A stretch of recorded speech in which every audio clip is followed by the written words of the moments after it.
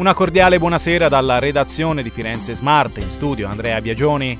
Partiamo dalla 15 dove a causa di lavori si registra un chilometro di coda tra Pontremoli e Berceto in direzione Parma.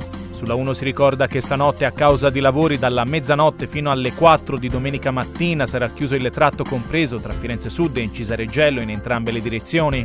In Fipili si ricorda che a causa di lavori è in vigore un restringimento di carreggiata tra Firenze e Firenze Scandicci in direzione mare. Notizie dalla città di Firenze si ricorda che in via Mariti sono in corso lavori di riqualificazione della strada con restringimenti di carreggiata a tratte e chiusura del varco di collegamento tra le direttrici all'altezza del Civico 6.